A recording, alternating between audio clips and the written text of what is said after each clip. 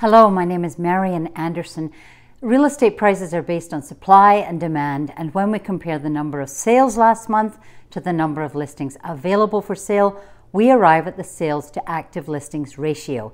And it's this ratio that determines whether we're in a seller's market, a balanced market, or a buyer's market. In May, there were 61 sales and 165 listings available for sale, 76 of which were new listings. The sales to active listings ratio jumped to 37%, a strong seller's market. So, what does this mean for you, the buyer? Well, at 37% of a sales to active listings ratio, with sellers are certainly in control of the market. Now, the last time we saw that percentage was back in the summer of 2020, and that was before real estate in British Columbia and in Canada went hog wild. There were multiple offers, crazy things happening in the market.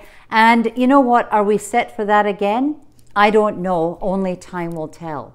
However, it is very important to realize that when you buy a property, make sure you're buying the kind of property that somebody else will want to buy from you when you're done with it.